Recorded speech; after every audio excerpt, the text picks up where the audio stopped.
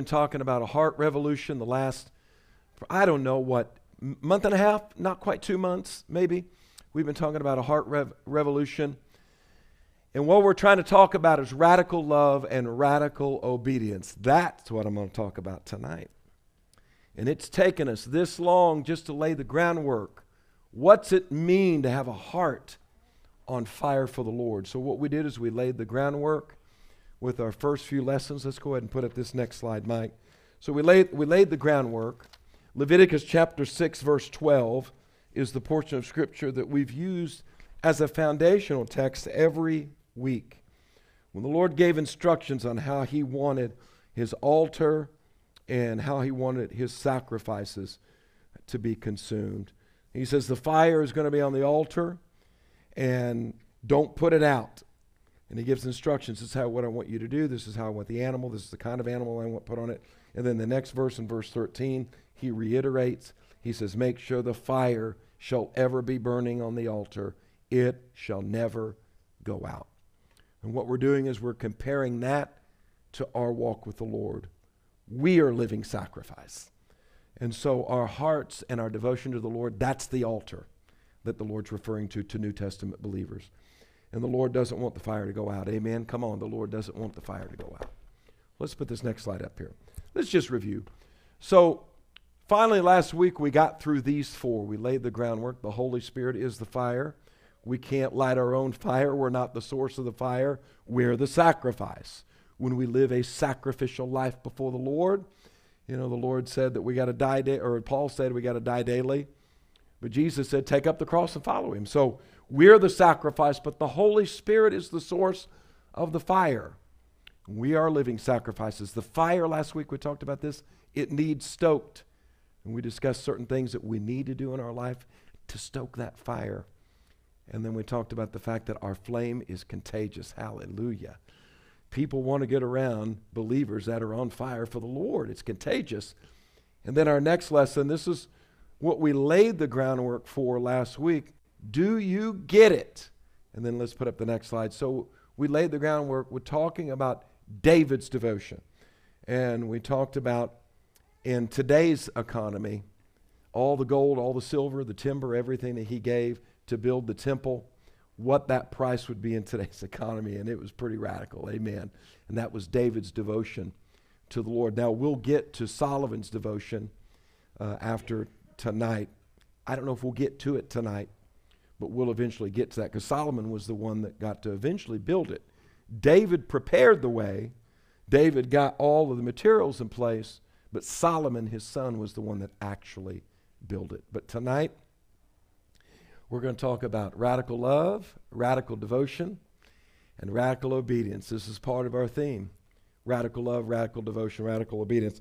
And I want to put up Mark chapter 12. I think we've got that in there. Uh, I, I, do we have that in there next? Yeah, Mark chapter 12. So we're going to talk about being a radical for Jesus tonight. And I think when you look here in Mark chapter 12, verse 29, it pretty well sums up the kind of devotion that the Lord wants from us. Now, Jesus is answering the Pharisees. He says, um, The first of all the commandments is, Hear, O Israel, the Lord our God, He's one, verse 30. And he says, You're going to love the Lord with all your heart, all your soul, and all your mind, and all your strength. Now he doesn't just end with all your all your heart. Now, for me, I believe that when the Lord gets all of our heart, he gets everything else. He gets our soul, he gets our mind, he gets our strength. Because the heart is the core of who we are. David, who's the person we talked about last week, was a man after God's own heart. And because David was a man after God's own heart, he loved the Lord with his heart, soul, mind, and strength. So when you start talking about radical devotion, this is radical. I mean, how much more can we love the Lord than with all of our heart? I mean, it doesn't get much more radical than that, right? All of our soul, all of our mind, all, all of our strength. And in verse 31, and I'll allude to this a little bit tonight. I hope I can get to it. We'll see how it goes. But Jesus is talking about not just, you know, when we're radical for the Lord, not just our love for Him, but it is obedience to His Word. Because remember, God and His Word are one. So if you say, I love the Lord, you're going to love the Word. I love the Lord, you're going to love His commands. I love the Lord, you're going to love His direction for your life. So, see, you can't, that's radical love toward the Lord. You can't separate the two. And then Jesus comes in and says, Well, if you're going to say you love me, then you're going to have to love your neighbor too. So, you can't separate the two on that one either. I love the Lord, you better love your neighbor. But you don't know what they did to me. Well, if you say you love the Lord, then you're going to love your neighbor. Now remember, loving don't means doesn't mean endorsing or condoning, but you got to love them the way the Bible says you got to love them. So basically, what Jesus is saying is, I want you to love me radically, and this is what God wants. And the gauge in which you know if you're really, if you're really radically in love with the Lord is how well you obey His word and His commands. Oh, Jesus. Let's put up this next slide. Radical. Now, today, we hear the word radical and we, we think he's an extremist, right? They're a right wing extremist. Oh, they're a left wing extremist, right? They're a radical. But radical really gets its roots in what Jesus said in Mark chapter 12. Paul was a radical believer for Jesus. Amen? Those New Testament apostles were radical believers for Jesus. They loved the Lord their God with all their heart, soul, mind, and strength. So when you look up the word radical, because some of you tonight go, yeah, you know, I love Jesus, but I'm not a radical. That don't make sense. Because if you love Jesus the way the word says you're supposed to, you're going to be a radical. Radical means a person who holds or follows strong convictions or principles. Do you hold strong convictions? Do you str- hold strong principles? Well, the word convictions, I don't have this in the slides. You can jot this down. I kind of jotted this in my notes. Um, but convictions means fixed and firm in one's belief. So if you're a radical for Jesus, you're a person who holds or follows your strong beliefs. This is what I believe, and I'm firm in it. I'm not going to move to the left or to the right. I am firm in what I believe. I'm a radical. You know, in today's day and age in the church, that is the radical, somebody that actually obeys the word. Because people today, I'm a Christian, and everybody's a Christian. You know, and, and I hear this, and it just, it gets to me when I hear this. I'm a Christian. I might cuss a little.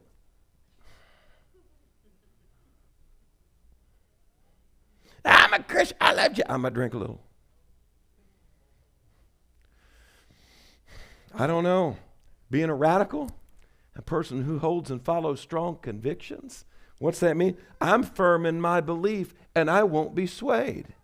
I'm not a compromiser. I'm not lukewarm. I'm not somebody who says one thing and lives another. I live by my convictions. Now remember, the, the word conviction is different than the conviction the Holy Spirit gives to you. Because when you're convicted by the Holy Spirit, that means that He brings it to the surface and He brings it to the light. So the Lord's convicting you about something. But when you have a conviction to the Lord, that means you're firm in your belief system and you can't be swayed. So you've got strong convictions and you've got strong principles. Now, the word principles means an accepted rule of action or conduct. This is what's kind of getting into the I love Jesus and my life will reflect it. Come on, it's your conduct. Amen. Come on. So it is an accepted rule of action or conduct, an accepted fundamental doctrine or a tenet. So basically, if you're a radical, you're just somebody who's obeying the word. That's really what that means. I'm a radical. It just means Jesus comes first. Amen. I'm a radical. I mean, so really, when you think of the word radical, you know what that means? You're a Christian. That's all that means. And it's crazy because when you start using the word radical, people, are, oh man, that who I don't. no, that to me that's just a Christian. Because let's go back to Mark 12. Remember, if you're going to love the Lord, you're going to love the Lord your God with all your heart, all your soul, all your mind, all your strength, and you're going to love your neighbor yourself. That's pretty radical. No, that's being a Christian. So I'm a person who holds or follows strong convictions or principles. I'm also a person who advocates for who I'm devoted to. I'm going to lift up Jesus. I'm going to stand for Jesus. I'm going to defend Jesus. Amen. Come on. I'm going to advocate for what I believe. And if the, if the, the Lord opens the door, I'm going to have the attitude that says, I'm not ashamed of the gospel of Jesus Christ, for it is the power of God unto salvation. Amen. I'm not ashamed. I'm going to advocate for Jesus wherever I get the opportunity. What's that mean, advocate? I'm going to lift him up. Hallelujah. I'm not going to be ashamed. I'm going to support and promote everything that's Jesus. Hallelujah. So, so we're talking about a, a, a heart devotion or, or revolution. We're, we're talking about radical devotion. We're talking about radical love. We're talking about radical obedience. Well, let's put up this next slide. Does it, is this starting to make a little bit more sense now? I mean, you, you start talking about being on fire for the Lord, and you go, oh, yeah, man, that's, yeah, I, am not, I mean, I love Jesus. I mean, I ain't like that. I mean, I ain't like those, some of those people, you know. I, I don't know. To me, when I read the word, that's just being a Christian. Are y'all here tonight? How many would agree with me? So, so really, saying I'm a Christian, according to Scripture, doesn't mean you're a radical. Well, what's the problem? Why is today's terminology of Christianity more of a, well, I, you know, I, I, I believe Jesus lived and I trust that he died on the cross and he rose and, and I kind of I kind of trust in that. And, I mean, that's all I need to do, right? I mean, the scripture says, believe in your heart, confess with your mouth that Jesus is the Christ and God raised him from the dead. And I'm, I'm saved. I mean, that, that's all there is. Yeah, if you took that one verse out of context and that's all the Bible said about serving the Lord. The problem is, is we got a lot of other verses when connected to that that explains what that means in being on fire for the Lord. So, so we're talking about radical love, we're talking about radical devotion, we're talking about radical obedience. So here we go. Let's talk about this. Remember, I'm somebody who holds strong convictions and principles, and I'm an advocate for the one I'm devoted for. So, what am I going to hold a strong conviction in, uh, for? Love. Love means a, a, a reverential affection and devotion to God. So, when it comes to my relationship with the Lord, I'm, I'm going to be passionate. It's not going to be religion, it's going to be a relationship. I'm going to have an affection and I'm going to have a devotion. What does affection mean? Affection means, hear me, an emotional attachment in a sentiment. Now, I don't have a slide on that, but you can write that down if you're taking notes. It is an emotional attachment or sentiment. Now, I want you to hear me. You've heard me say this many times, okay? Emotionalism, many times, is not a response of the Holy Spirit, but when you truly love somebody, there's going to be an emotional attachment and a sentiment. I mean, when you love your spouse, shouldn't there be an emotional attachment to your spouse? When you, when you love your baby, right? You love your baby. Listen, I see how you parents love your baby, right? You love that baby. There's an emotional attachment to that baby, right? You would defend that baby. If somebody tried to harm that baby, you would defend that baby. You love that baby, right? You moms in here, that baby's flesh of your flesh and bone of your bone. There's an emotional attachment. So anytime you truly love, there's an affection. Listen, there's going to be some emotion involved with your relationship with the Lord. I went, I went to a funeral today. Uh, a dear pastor that's, that's on our district. He retired um, four years ago, and he's 87. He retired at, well, okay, he's going to be 87. He retired at 82. He made it all the way to 82 years old.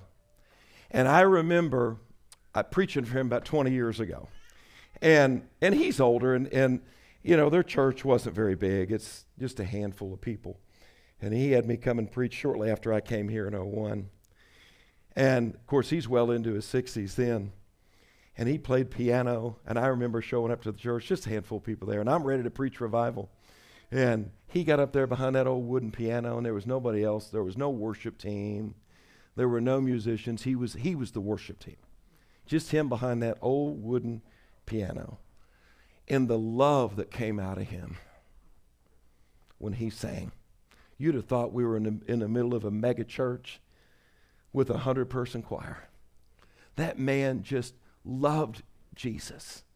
And going to his funeral today and hearing his children that he raised talk about his devotion to the Lord and watching his wife there and just hearing the testimonies of people. And that's all they talked about. They said, This man loved Jesus. And they were given stories about how in his sickness that he's had recently, been dealing with Parkinson's, and it just, you know, it just, his body just kind of gave up. And they said he could barely make it to the store, but he'd walk in and he'd talk to somebody, and they would share a need with him. And here he is with Parkinson's, would stand right there in, the, in, in a lane at the grocery store and would pray for people. And that was the testimony of this man. People from the community, people that used to be in his church, people from his family. They said, I'll tell you what, this man loved Jesus. And that's what I want my testimony to be. I want people to say, Dennis Sanders has, has a reverential affection. He has an emotional attachment to Jesus. That he knows what God brought him out of. And anytime he hears his name, anytime he hears somebody share their testimony, he gets a little tear in his eye and gets shook. Listen, I do. When I get around people and I hear their story about what God did in their life, because I have an emotional attachment to that Jesus they're talking about, it ought to stir you up too. I'm telling you, when you come to church, nobody ought to have to get up on the platform of the church and pump and prime the congregation and to try to beg you to worship and to try to beg you to enter in or beg you to come to the altar or beg you to get involved with the sermon. I'm t- when you got radical love to the Lord, there's an emotional attachment to all things Jesus. Hallelujah. I've got a reverential affection and I have a devotion to the Lord. What does devotion mean? It is, it is a profound dedication and earnest attachment to a cause, to a purpose, and to a person. Well, we, we just been talking about that, that attachment to the person. But remember what I said earlier God and His Word are one. So not only is God and His Word one, God in His cause are also one. You can't separate the two. So if you say, I love Jesus, you're going to love His cause. What's His cause? Seeing people saved. What's His cause? Getting the gospel shared to a dark world. What's his cause? Being a light in darkness, being salt of the earth. What's his cause? Being faithful and committed to the church. Finding your calling, doing it for the glory of God, not doing it for the applause of man, but doing it for the glory of God. That's his cause. Come on. So when you say you love Jesus, you can come across anything that talks about the Lord, that talks about His ways, that talks about His commands, and then you get in the New Testament and you talk about all the instructions of the church and how we're supposed to be committed to the church and how we're supposed to submit to certain things. And you know what? You can't separate the two. So if you say you love Jesus, you're going to love those things also and, and I'll say this because I'm a pastor, but we're living in a day and age now where people say, I love Jesus, I just don't love church. You can't say that. You can't say you love Jesus and not love his church because Jesus founded the church and the church is the body of Christ. And if Jesus instituted the church, organized the church, structured the church, gave instructions on how to run the church, if you say you love Jesus, you're going to love that too. Because remember, it is an affection and a devotion. In a devotion, means it is a dedication and attachment to a cause, to a purpose, and a person. Oh, come on. Some of you, are y'all here tonight? This is what this whole Wednesday series is about. We're going deep. We're finding out what radical devotion is all about. We're finding out what radical love is all about. You keep coming, so that tells me you want a heart on fire for Jesus. And remember, I said this early, I'll say it again tonight. It's a whole lot more than somebody just laying hands on you. Take the fire, take the fire. No, no, no, no. You've got to, to do things in your walk with the Lord to get that fire going. And then when you look at your life and you evaluate your life and you begin to see some of the things that I'm talking about to, tonight, if you see an area in your life that's lacking in what I'm teaching, don't be condemned. Use it as a catalyst to get in the presence of God and say, God, I want my love to be radical. God, I want my devotion to be radical. I want my obedience to be radical. And like I've been teaching, and I just ended it last week, I'm a living sacrifice. And God, not my will, but your will be done. And I'm telling you that God will do it in you. God will let your love be radical for Him. Hallelujah. But let me say this before we move on to the devotion. Not everybody gets emotional. And, and I know sometimes us Pentecostals get accused of getting too emotional. And, and, and I get it. We call it emotionalism, right? We think that if we get emotional, it'll bring the Holy Ghost. No, I'm emotional because I got the Holy Ghost. Two different things. I don't come to church and kind of pump it up with emotion, hoping God will bless it. No, my emotion comes from my love for the Lord. My emotion comes because I've spent time in the quiet place, in the secret place. And so when I'm here corporately, it's just an outflow of who I am privately. Come on, y'all getting this? So, okay, we got radical love, then we got radical devotion. Well, what's devotion? It means a profound dedication, it is a dedicated loyalty or affection. Are you devoted to the Lord? Is your dedication profound? Are you loyal to Jesus in all things Jesus? Remember, it is his purpose, it is his cause, and it is his person. It is his church. Are you devoted to the church? Are you devoted to God's commands? Are you devoted to God's will in your life? Well, if you want a heart revolution, you better be. Well, what about obedience? Well, obedience is dutiful or submissive compliance, and it is the practice of obeying. Now, let's let's let's put up this next scripture, and, and I'm going to explain this here in just a second. We're going to find this. Put up this next slide. So, I think when we get it, okay, and we're going to talk about the difference between David and King Saul. I think when we get it, we will love the Lord. I want you to hear me for who He is. Our love for the Lord is not going to be based on what He does for us. And I think that's where a lot of us in church miss it, is because, man, we're doing great as long as He's answering my prayers. We're doing great as long as He's doing what I want Him to do. But when things go different than the way I want them to go, are you still going to love the Lord?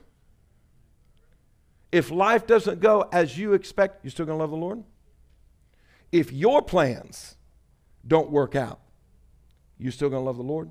See, this is what radical love's all about. I love him for who he is.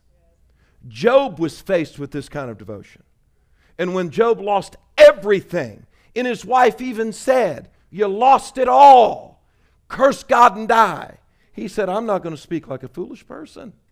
The Lord gave it, and the Lord can take it. Blessed be the name of the Lord.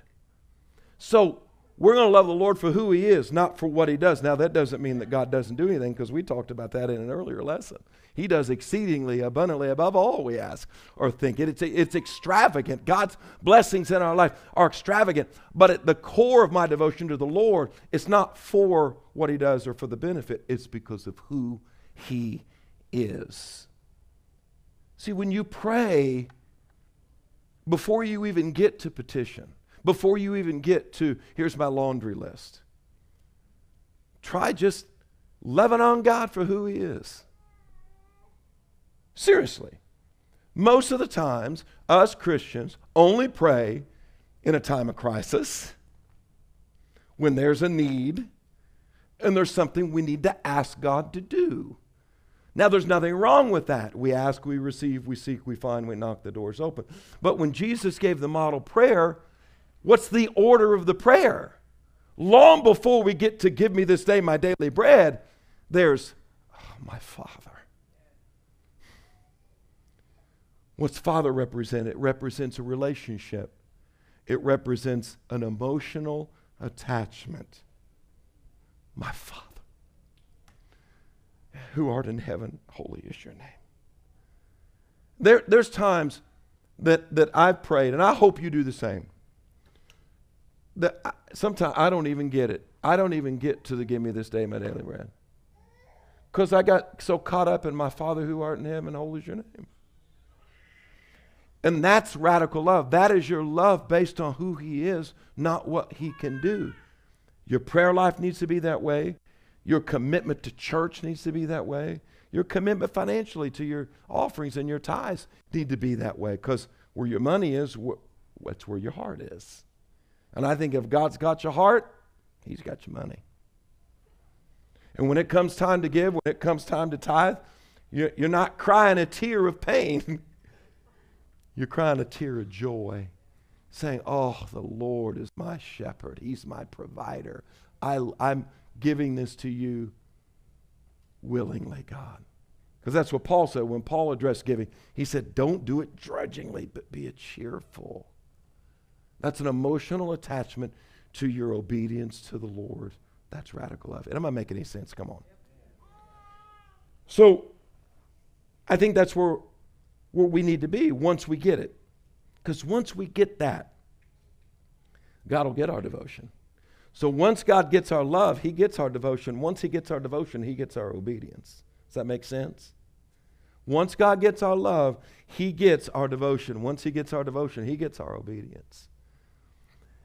Because some of you in here, and I pastored long enough to vouch this through experience, I've seen it, it's our human nature. Some of you are having a hard time with your obedience to the Lord. Go back to the core of your walk with God. I think that if God gets your love, He gets your dedication and He gets your obedience.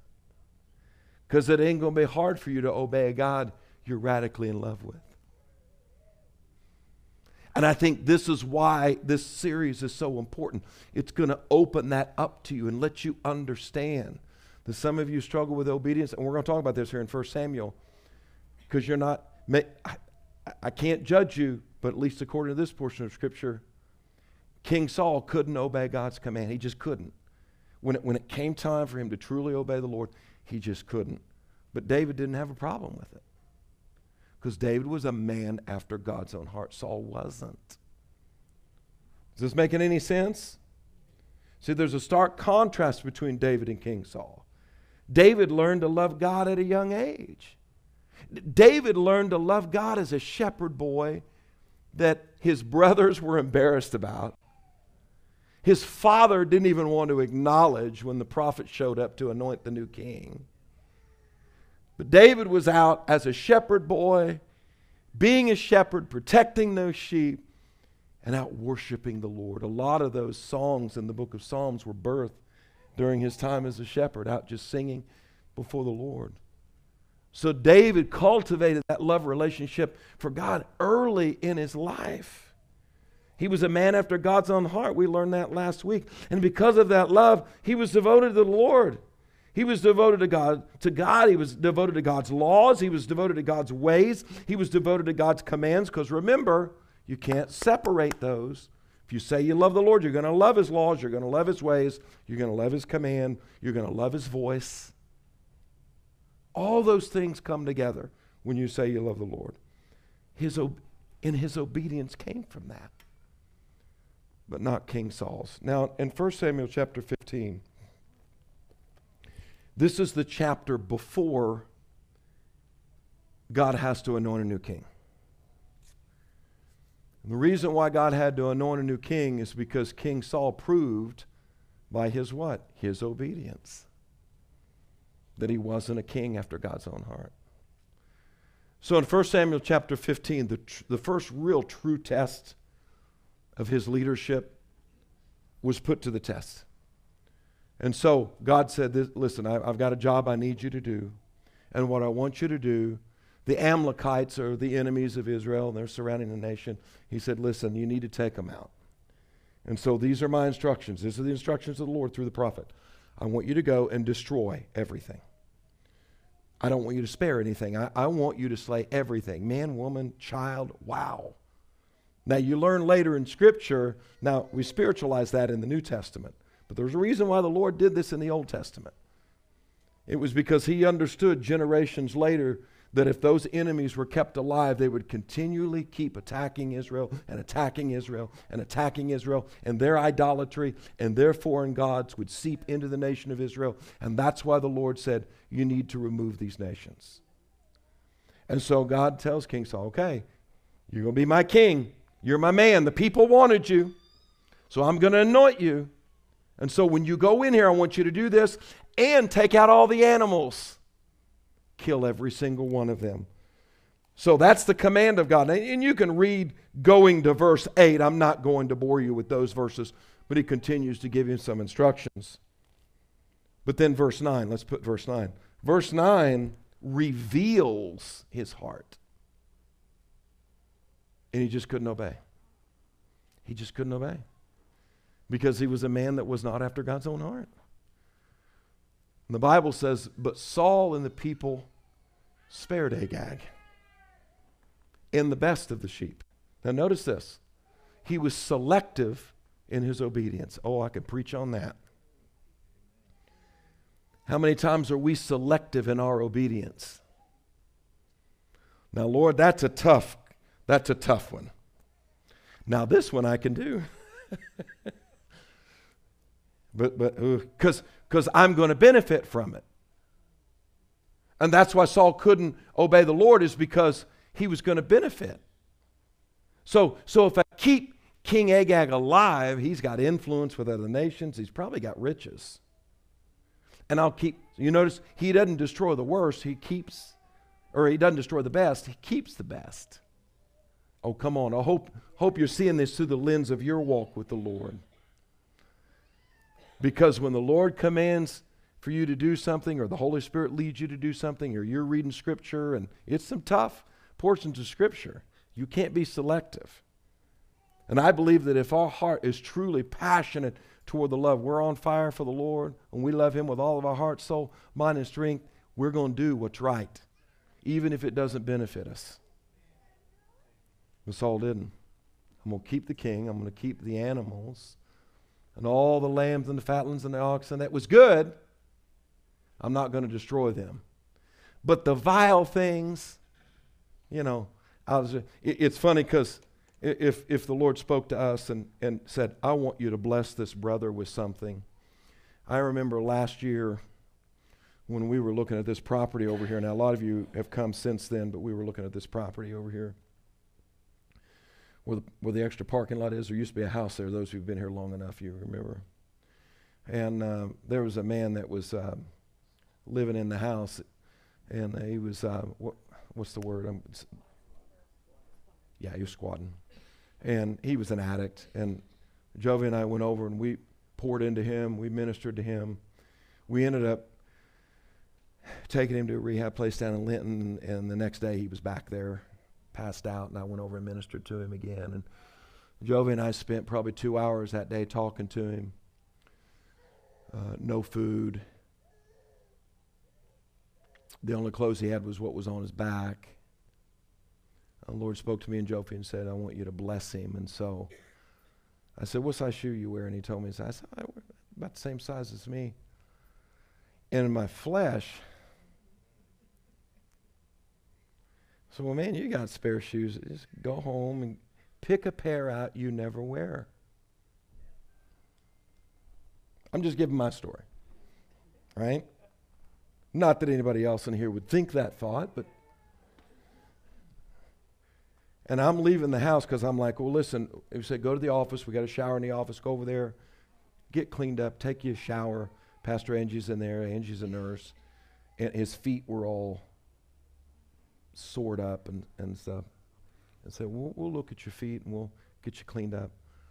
And uh, so I went to the house and I went down in, in my basement where I keep my shoes. And the Holy Spirit was like, Is this gift going to cost you or are you going to give him what you never wear?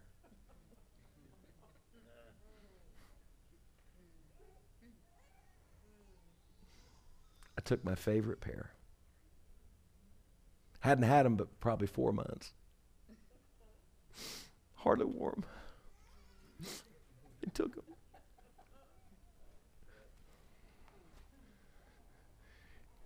You know, when the Lord asks us to do something, are we're going to say, okay, God, whatever you tell me. Now, that's just a pair of shoes. Okay? Uh, some of you might say, well, that's simple. And what happens if you're sitting in a service and we're receiving a special offering for missions and the Holy Spirit says, boom, puts an amount on your heart and you're like, oh, I rebuke you, Satan, man. Don't you dare say that. Speak to me. well, the Lord tells you to do something pretty radical. You go over and get right this ought you got with this brother in church and go over there. I want you to get this right before church is over. Oh, Lord. It'd be a whole lot easier if I got right with somebody that I really don't have issue with. Come on, and this basically what's going on here? Saul's like, uh, yeah, I'm gonna hold on to the best. Well, let's go to the next verse. So here the command was given in verse 3, the act of disobedience was committed in verse 9, and then in verse 13, when confronted by the prophet Samuel, who's following up his obedience. Well, let's see how things went. I gave you the word of the Lord, and let's see how things went. Saul lies. He says, Oh, blessed be the name of the Lord. I performed the commandment of the Lord. Now remember, saying you love Jesus and obeying his word, you can't separate the two. And I think this is when the true test of our devotion is put to the test. What are you going to do? So he lies about it. Go to verse 20. So he lies about it. In the next few verses, he's Oh, yeah, we did this, and we did this, and we did this. And once again, he comes back in. I have obeyed the voice of the Lord, and I have gone the way which the Lord sent me, and I brought back Agag, the king of Ammon, and utterly destroyed the Amalekites. Go to the next verse. Verse 21. And Samuel said, or verse 22, he says, Has the Lord great delight in burnt offerings and sacrifices? Would he rather have you do that than just simply obey the voice of the Lord? You got to understand, because his obedience was selective, what he did is he twisted the command of God. Oh, yeah, we, we made sacrifice. He didn't tell the full truth, though. Oh, yeah, we made sacrifice with the worst of the animals. We, kill, we, we killed all the people, but we kept the king. And so he's selective and he's like, oh man, we don't and the prophet says, So you think God's pleased by your works? So you think God's pleased because you did a little a little part of the command, but you didn't obey the whole command. You did some things.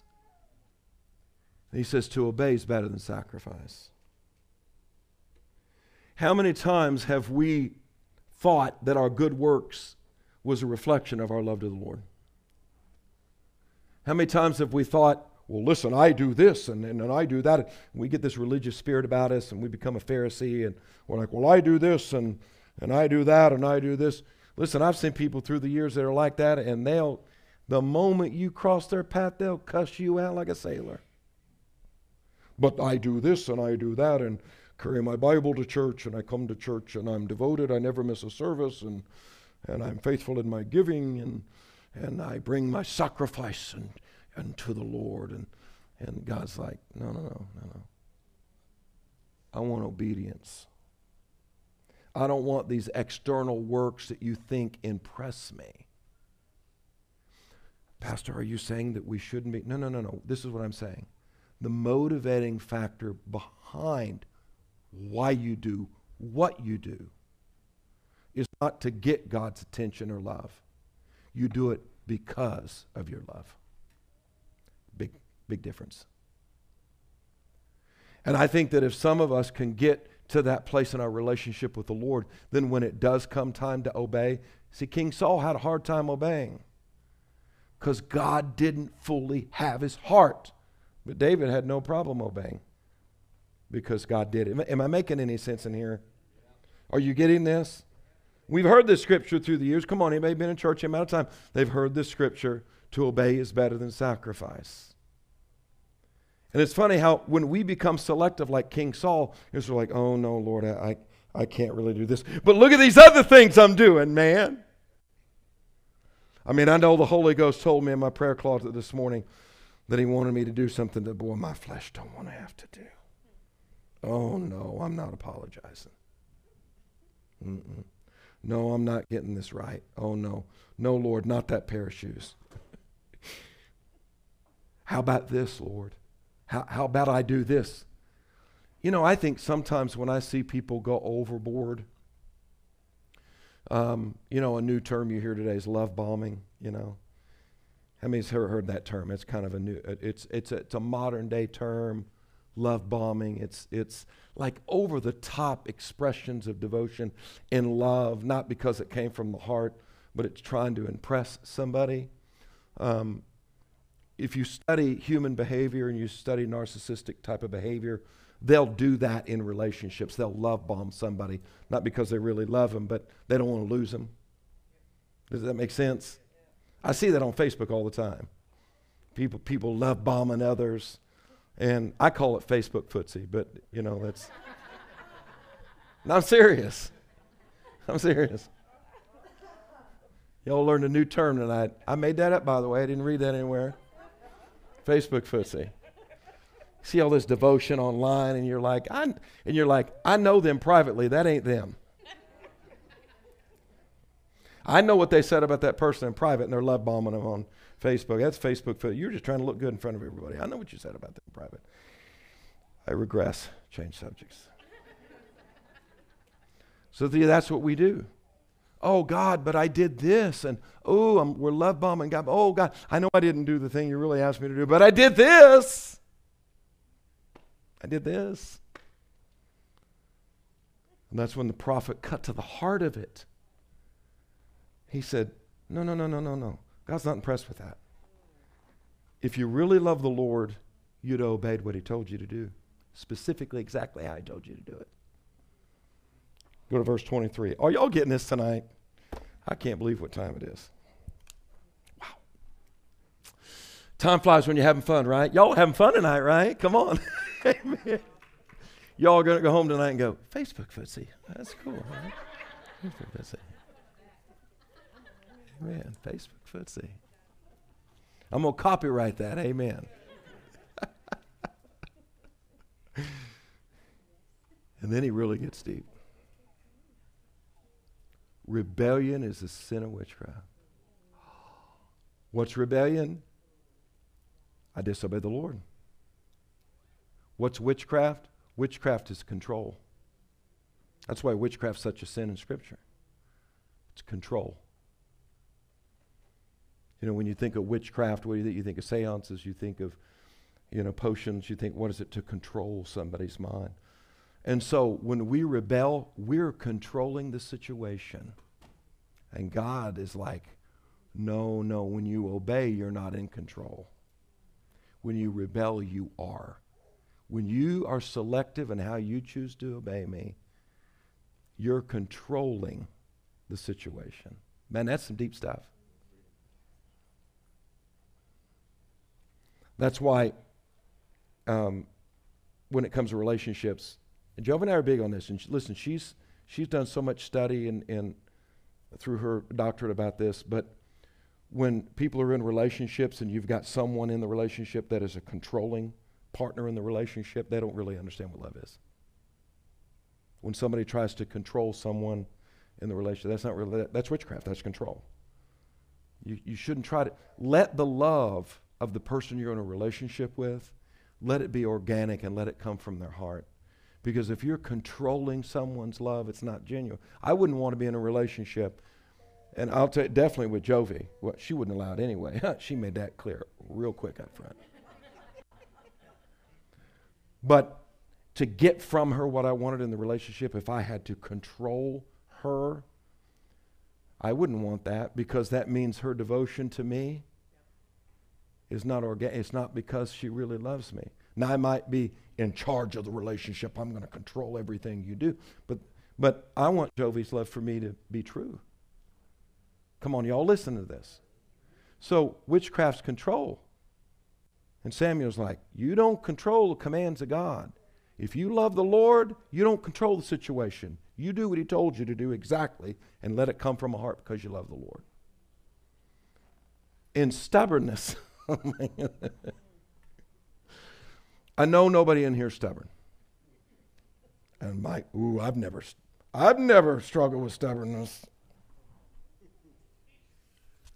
We've all struggled with it.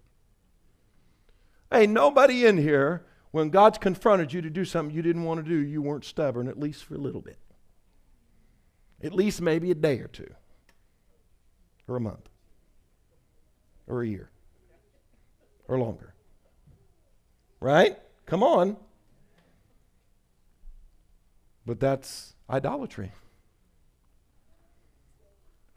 Because you rejected the word of the Lord, the Lord's going to reject you. This is basically what God was saying. I can't have a king over my people who doesn't have a heart after me. Because when you lead the people, your decisions are always going to go toward what you benefit from it rather than what I want from my people. Now look at verse 33. Now I'm going to talk about devotion. So the prophet Samuel, after dealing with this exchange, now he tells Saul, You've lost the kingdom. You lost the kingdom. And God's going to have to find somebody that truly loves him. And that's when David, okay, the next chapter, that's when David is appointed king, right? This is devotion right here. Samuel took the sword of Saul pulled it, pulled it out of his belt.